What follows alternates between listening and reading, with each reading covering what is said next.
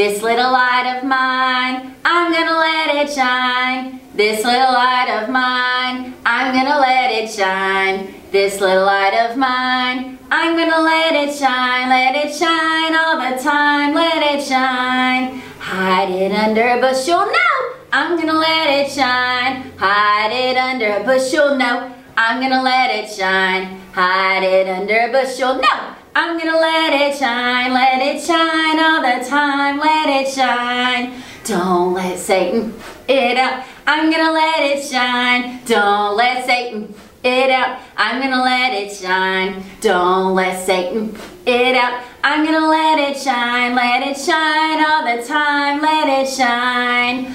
All around the neighborhood, I'm gonna let it shine. All around the neighborhood, I'm gonna let it shine. All around the neighborhood, I'm gonna let it shine. Let it shine all the time, let it shine. Oh, good job, guys. I'm so glad you're here.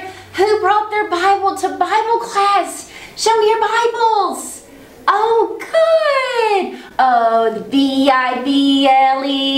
Yes, that's the book for me. I stand upon the Word of God, the B-I-B-L-E. Yes, the Bible is so awesome, and I hope and pray that you guys are reading your Bibles and patting them every week. Are you ready to pat? Pat, pat, pat the Bible, pat, pat, pat the Bible, pat, pat, pat the Bible with their little hands. Love, love, love my Bible, love, love, love my Bible, love, love, love my Bible with my little heart. Oh, I'm so glad you're here. Remember, we've been talking about how much God cares for you. We talked about people like um, Moses and crossing the Red Sea. We talked about Jonah and the big fish that whoop, swallowed him up. And then he prayed and then he spit him back out and God was always with him. God took care of him. And last week we talked about Joseph. Remember how Joseph was sold into slavery and his 11 brothers didn't like him? But then he became a great leader for Egypt. Well, this week we are talking in the New Testament about a lady named Ruth. Can you say Ruth? Ruth had a mother-in-law named Naomi. So we've got Ruth and Naomi. And you know what? They were going to go on a trip and, and move away. Yes, they're moving away. They lived in a town called Moab. And they were going to move. So we've got Ruth and Naomi. Naomi told Ruth, you don't have to move with me. These are your people here in Moab. You can stay here. And Ruth said, your people are my people and your God has become my God. And I want to move with you to Bethlehem and be with you because I still love you. Even though my husband died, I still love you and you want to be part of your family. So Ruth loved Naomi very, very much. Ruth loved Naomi. Ruth loved Naomi.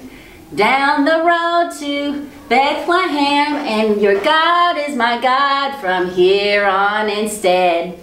Just remember that I love you to the end. Yes, Ruth loved Naomi. Yes, they loved each other so much. They sure did. And they moved together to the city of Bethlehem. They went to Bethlehem. And when they got to Bethlehem, everybody was, was saying, Hi, Naomi. It's so good to see you. I'm so glad you're back home. But the truth is, boys and girls, that Ruth and Naomi were now very poor. And they had to find something to eat. And Naomi was like, we need to find something to eat if we're going to stay here in Bethlehem. And Ruth said, you know what, Naomi? I will take care of you. I will go and pick some barley because it is barley harvest time. And I'll pick some food for us and bring it back. You don't worry, I will gather for you. So here goes Ruth she trusted God and God took care of her. He, she went to Boaz's field and Ruth is picking up the barley, the barley, the barley. She's picking up the barley so she can eat today. Ruth's picking up the barley, the barley, the barley. She's picking up the barley so she can eat today. Yes, boys and girls, you see this? Was picking up barley. Now this isn't exactly barley, but it's something that looks like barley. And what it is, is that you can use this barley to make bread or some type of cereal. Um, they used it in all kinds of baking things. And that's what they did. They, they would pick up this barley in the fields and they would use it and eat it. And it, and it helped out so much. And so she was picking up all of this barley in Boaz's field. And Boaz, Boaz was the owner of this field. And he learned how nice that she was to Naomi. And he was very happy about that and thought she's a really nice person to take care of her mother-in-law. And so he came up to Ruth and said, Hey Ruth, come here. I want to invite you to lunch. And so they talked at lunch and he said, I want you to pick as much barley as you want. And she said, oh, thank you, Boaz. This will help me and my mother-in-law, Naomi, so much. And she thanked Boaz and she kept on picking up the barley, the barley, the barley all day long. She did. And at the end of the day, she came to Naomi and said, Naomi, look at all the barley that I got. See, God is so good to us. He took care of us when we needed food.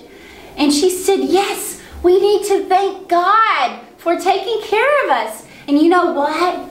Ruth and Naomi had a wonderful, loving relationship. And they trusted God that God would take care of them. And he did. He gave them exactly what they needed, boys and girls. Isn't that just such a wonderful story? Ruth believed that God would take care of her. Even though she went to a different land. Remember she went to Bethlehem and moved away? And she didn't know what she was going to do, but God took care of her. Just like God is going to take care of you. Oh, God cares for you, God cares for you, God will take care of you. God cares for you, God cares for you, God loves you, this is true. Okay, boys and girls, I'm so glad you came to learn about the lesson of not only Ruth, but also Ruth and Naomi. They were special people and they show us that God will always take care of us. Let's use our praying hands and let's pray to God and thank Him for taking care of us. Dear God, we thank you for this day. We thank you for all good things that you give us, especially the story of Ruth and Naomi. They, they were your servants, Lord, and they trusted you to take for you to take care of them. Help us to be people of you and shine our lights. And we love you very much. In Jesus' name, amen. Hope you have a great week.